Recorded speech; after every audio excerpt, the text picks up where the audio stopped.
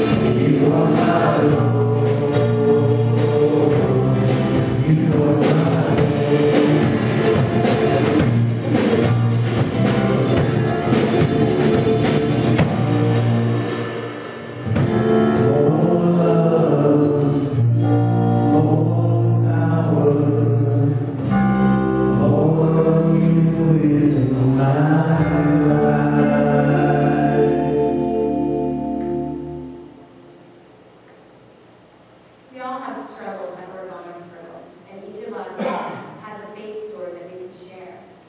So take your seed and share the goodness of Christ with others.